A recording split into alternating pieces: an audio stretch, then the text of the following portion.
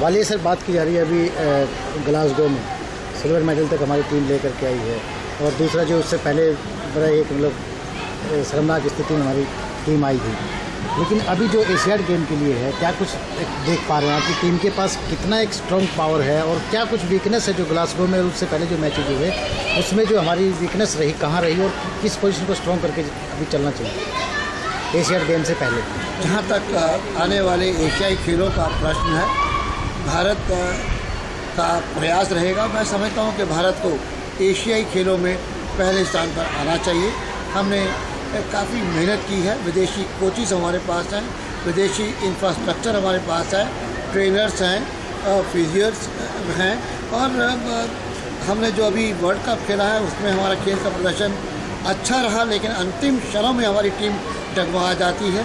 और लेकिन कहना होगा कि आगे से हम आगे बढ़ रहे हैं। अभी ग्लासगो में आपने कॉमनवेल्थ गेम का ज़िक्र किया, उसमें हमें रजत पदक मिला।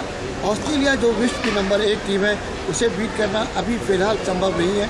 लेकिन एशियाई खेलों में, जहाँ हमारा मुकाबला पाकिस्तान, कोरिया, चीन या मलेशिया से होगा तो मैं समझता हूँ कि उन टीमों से हम आगे हैं। अगर हम पूरी फोकस के साथ अपनी सही पोटेंशियल का इस्तेमाल करें हम स्वर्ण पदक जीत सकते हैं। वाली सर एक चीज़ जानना चाहेंगे क्या कुछ टेक्निकल पॉइंट्स हैं क्या टेक्निकल पॉइंट्स हैं जो स्ट्रॉन्ग किए जा सकते हैं? आपने पूछा कि हमारी वीकनेस क्या है तो मैं कहूँगा कि अभी भी हमारे पास स्किल काफ़ी अच्छी है लेकिन स्किल या ड्रिबलिंग हमें तभी करनी होती है जब ये आवश्यक हो। अगर हमारे पास सपोर्ट है हमारा खिलाड़ी हमारे साथ है तो हमें उस वक्त उसको पास देना चाहिए और फिर रिटर्न पास की अपेक्षा करनी चाहिए। ड्रिबलिंग हमें तभी करनी है जब कोई दूसरा ऑप्शन ना हो।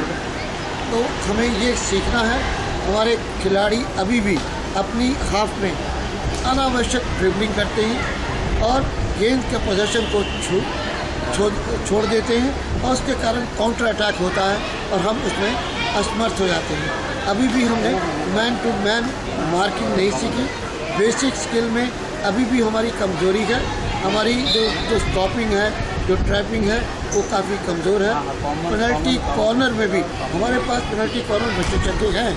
रघुनाथ है हमारे पास रविंदर पाल है लेकिन फिर भी हम उनकी पोटेंशियल का पूरा इस्तेमाल नहीं कर पा रहे हैं। अगर इन सब कारणों को हम देखें और उसको हम फोकस करें इन कमियों को हम दूर कर दें तो निश्चित रूप से हम एशियाई खेलों में स्वर्ण पदक जीत सकते हैं। कहीं ना